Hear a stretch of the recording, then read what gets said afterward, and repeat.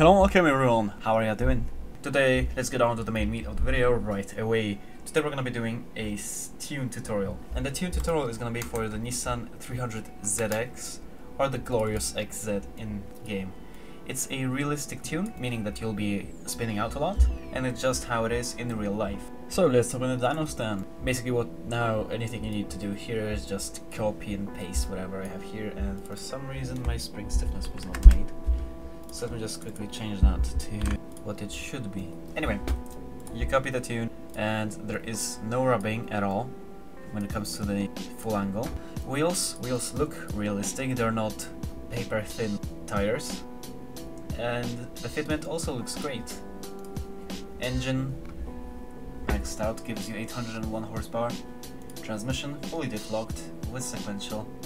And as to brakes, maximum brake torque, brake front bias at 100% with ABS. So right now you'll see this car drifting around some sort of region race.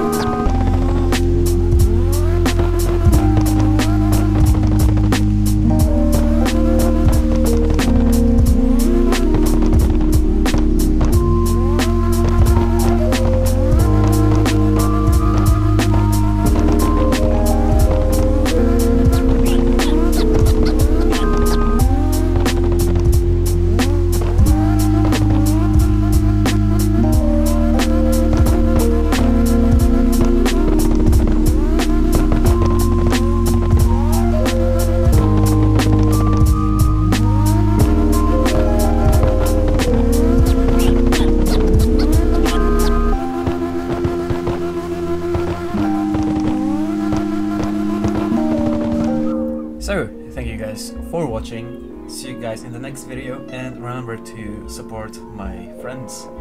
Meaning, that you should support Smokey Wolf, Nine4 Auto Club and GNC Airsoft. And also subscribe to Soul Z because he's a very nice person and he makes some dope ass liveries so I would love to see, to see Soul Z reach 10 grand, 10k soon. So anyway, that was it for today's video and see you guys tomorrow.